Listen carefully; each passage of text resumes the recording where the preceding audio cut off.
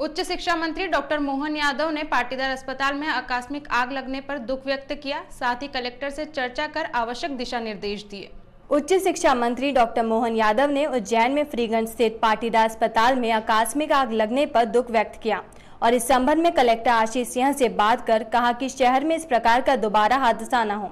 इस संबंध में उन्होंने चिंता प्रकट करते हुए जिला प्रशासन के मुखिया से कहा कि जाँच कर आवश्यक कार्यवाही की जाए।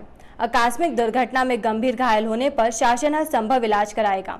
उच्च शिक्षा मंत्री डॉक्टर मोहन यादव ने जिला प्रशासन के मुखिया आशीष सिंह की तारीफ़ करते हुए कहा कि उन्होंने मौके पर पहुंचकर बचाव कार्य प्रारंभ कराया और अस्पताल में भर्ती मरीजों को सुरक्षित निकालकर अन्य निजी अस्पतालों में भर्ती करवाया।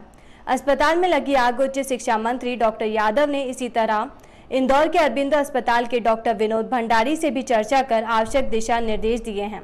इसका उज्जैन में आज आकस्मिक रूप से साफ़ सफ़ाई के कारण से महिला हॉस्पिटल में जो अचानक आग लगी, हम सबको दुख है इस बात का मैंने कलेक्टर से बात की, दोबारा ऐसी घटना न हो इसलिए पर्याप्त आगे इंतज़ाम करें।